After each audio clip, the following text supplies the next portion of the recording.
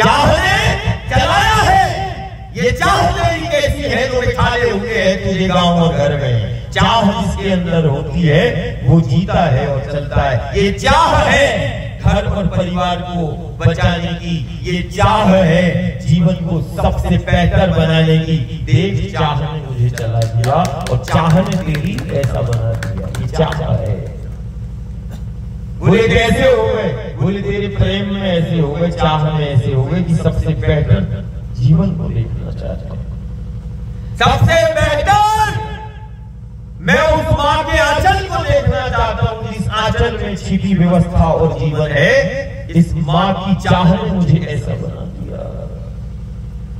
घर और गाँव की चाह ने मुझे ऐसा बना दिया कि सब तरह संक्रमण, आपदा विघ्न बाधा, शिकार हो रहा है कैसे खा लें उस द्वार पर अन्न को? भिक्षा कैसे मांग ले।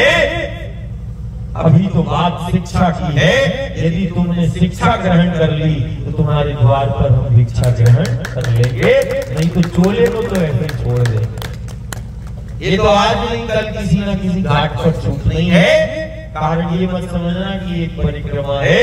अभी तो हमारा अखंड चलना प्रारंभ हुआ है। तब तक हम चलते रहेंगे। जब तक उस माँ के आंचल को सुरक्षित तेरे हाथों से नहीं करा लेंगे, और जब तक तेरे गाँव और घर को सबसे व्यवस्थित जीवन को इन बच्चों का न देख लेंगे, तब तक ये अखंड चलना प्रारंभ होगा। बारंबार इसी पथ पर हम आते रहेंगे, और बारंबार। ये हमारा संकल्प है। ये वचन दस्तक देता रहूँगा जब तक घर और द्वार संक्रमण और विघ्न बाधा से वो मुक्त न हो संक्रमण मुक्त समाज। और जब तक सबसे बेहतर ये आने वाली पीढ़ियों के जीवन को नहीं देख लेता और घर द्वार को सुरक्षित नहीं देख लेता, तब तक ये चलना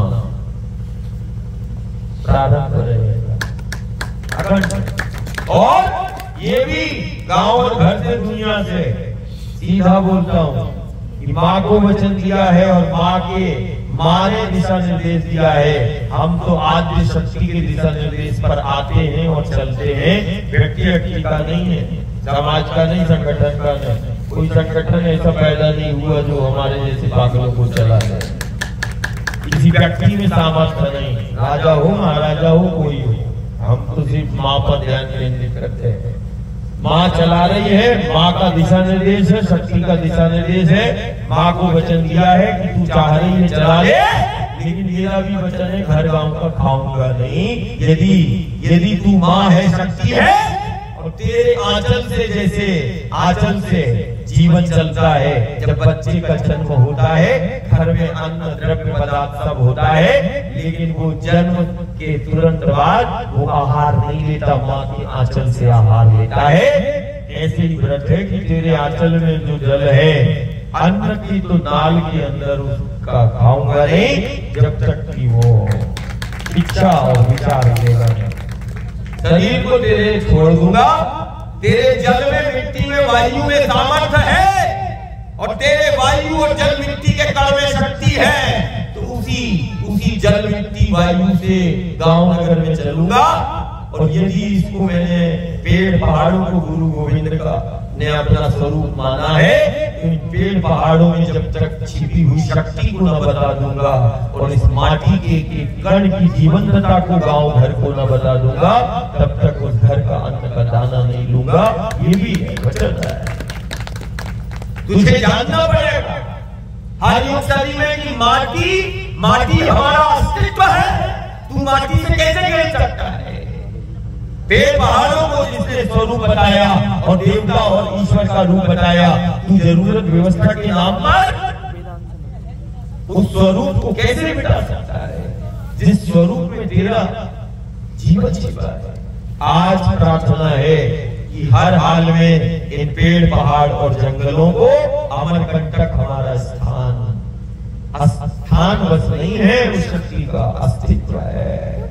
विंध्याचल इन पेड़ पहाड़ और जंगलों को हमें किसी भी सूरत में बचाना पड़ेगा। ये गुरु गोविंद की सबसे बड़ी सेवा हो जाएगी।